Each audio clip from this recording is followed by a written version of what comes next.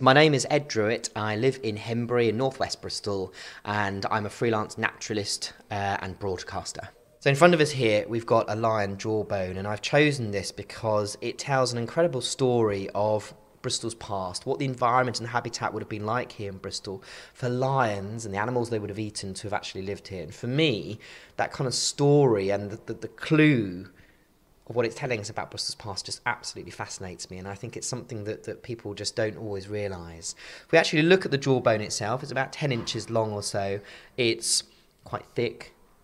It's got a wonderful, the kind of distinctive canine tooth, really. The, the, you know, the one that you see when a cat or a, a, dog might be snarling or sort of open its mouth to you. The big sort of grabbing tooth. We've got that there. It's a little bit cracked, but it's looking good nonetheless. A lot of the teeth are missing, but there's still one of the sort of the crunching teeth there.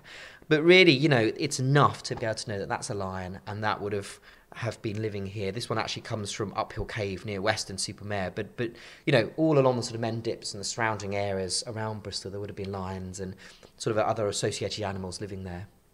And one thing I think that I that I'm always very curious about is how Bristol has changed over thousands of years. So not just hundreds of years in terms of how people have changed Bristol, but also the fact that you know we used to be in a different part of the world we used to be sort of down near the equator, and, and as a result, you know, the whole of Bristol's environment was totally different. And for me, this lion jawbone, along with some other animals here that it would have eaten, uh, really just brings together that fascination of crumbs. You know, we actually had lions here, with elephants here, and so forth.